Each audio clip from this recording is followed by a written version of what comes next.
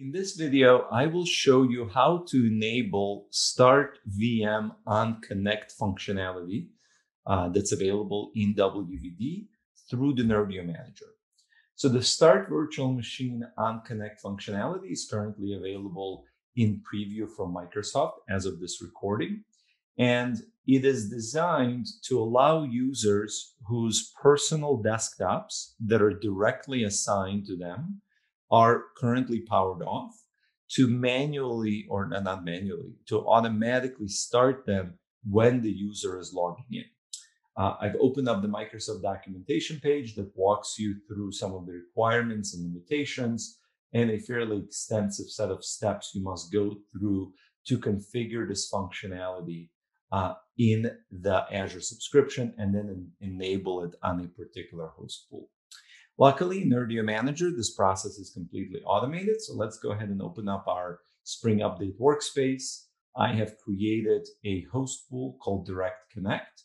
And as you can see, this is a single user personal desktop with an assignment type of direct. Now, this is important because the start VM on connect functionality only works with direct assignments right now. It does not work with host pools that are using automatic assignments.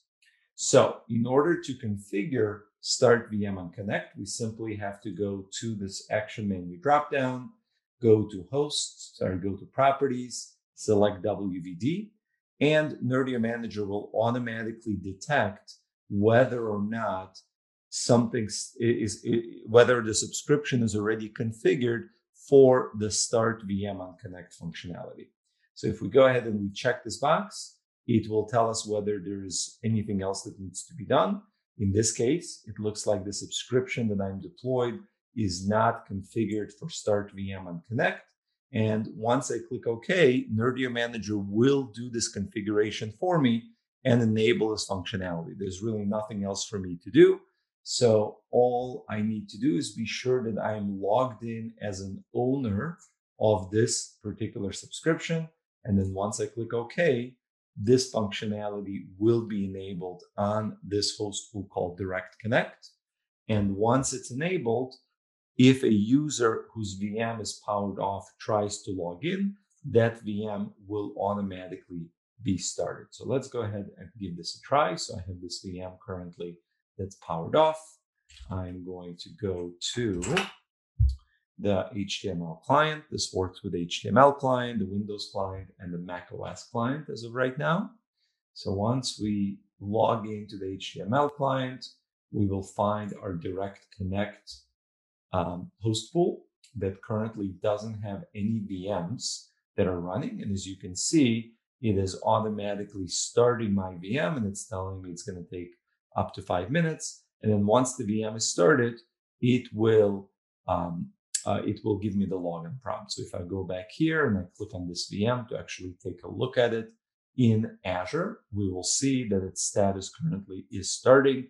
So this is in fact doing what it's meant to be doing. And our connect uh, uh or our start VM on connect functionality is enabled as easy as checking a box and clicking OK.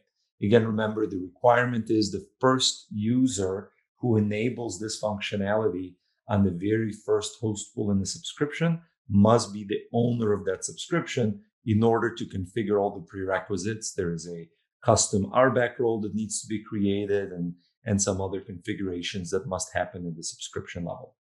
Hope you found this useful and I will see you in next video.